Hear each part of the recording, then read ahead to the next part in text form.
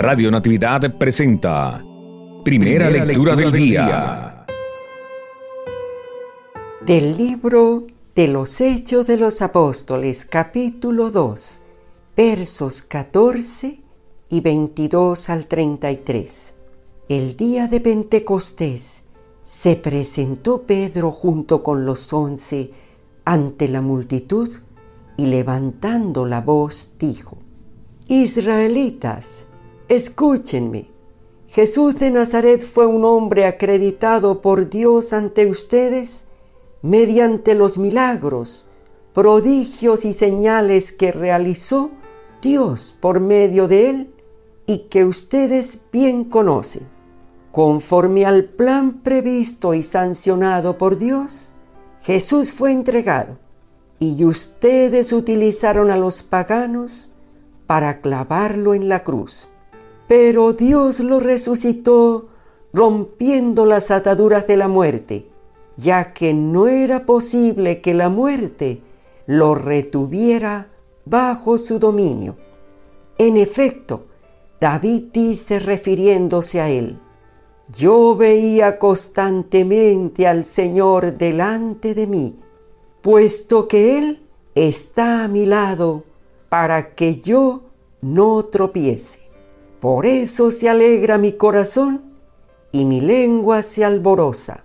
Por eso también mi cuerpo vivirá en la esperanza.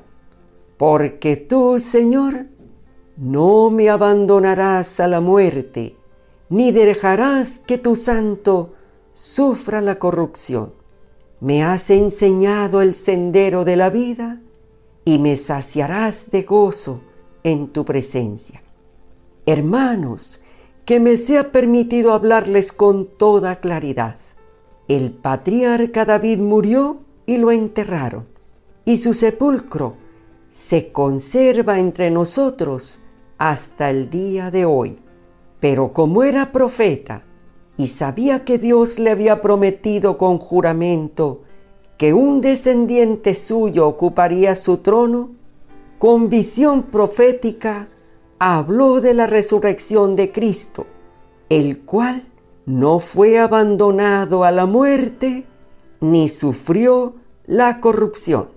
Pues bien, a este Jesús Dios lo resucitó y de ello todos nosotros somos testigos.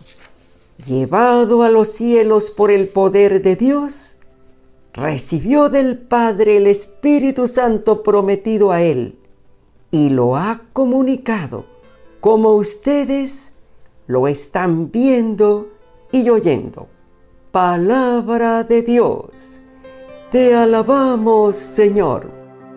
Qué hermosa palabra, amigos, amigas, a través del libro de los Hechos de los Apóstoles en el Nuevo Testamento, en el capítulo 2 y San Lucas nos dice en el capítulo 24, ¿por qué buscan ustedes muerto al que vive? Y una canción linda dice, no busquen entre los muertos a la vida. ¿Qué nos dice Pedro hoy, el apóstol Pedro? Cristo está resucitado. Cristo está con nosotros. Cristo no se quedó en el sepulcro. ¿Y qué nos dice Jesús a través de los cuatro evangelios? Yo estaré con ustedes todos los días hasta el final de los tiempos. ¿Qué le dice Jesús al ciego de Jericó? ¿Qué le dice a usted, a mí hoy? ¿Qué quieres que haga por ti? Ese Cristo que le dijo al ciego de Jericó, ¿qué quieres que haga por ti? Le dice hoy a usted, pronuncia su nombre. ¿Usted todavía se siente mal? Jesús le dice, ¿qué quieres que haga por ti? Usted dice, no, yo me siento solo, nadie me ayuda, me siento sola. Jesús le dice, yo estaré contigo todos los días hasta el final de los tiempos.